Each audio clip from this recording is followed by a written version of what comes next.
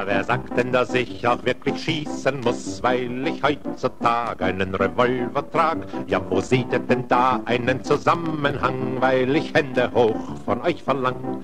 Nein, ich liebe euch und ich schieß nicht gleich. Warum habt denn ihr so schrecklich Angst vor mir? Ich bin Mensch und Christ und ein Revolver ist kein Zeichen von Gewalt, wenn ich ihn halt.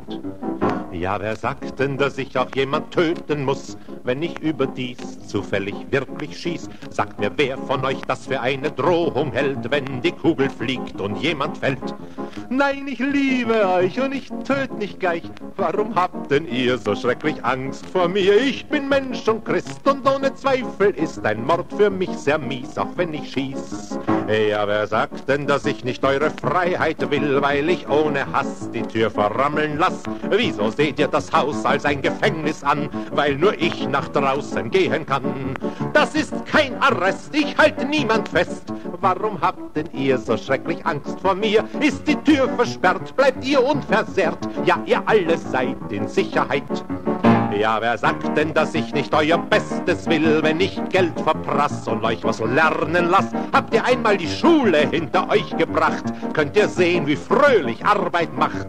Nein, ich liebe euch und ich mach euch reich, nicht charakterlich und nicht so reich wie mich, aber reich genug, seid nicht superklug und begnügt euch gleich, dann seid ihr reich. So kommt Stein auf Stein, seht ihr endlich ein, dass ich dazu auch einen Revolver brauch, warum ich ohne Hass die Tür verrammeln lass und wenn nötig dann auch schießen kann. Und wenn ihr das erst einseht, seid ihr frei, dann wählt ihr auch die richtige Partei. Dann lasst ihr meine Sache nicht im Stich und dann kriegt ihr Revolver, so wie ich.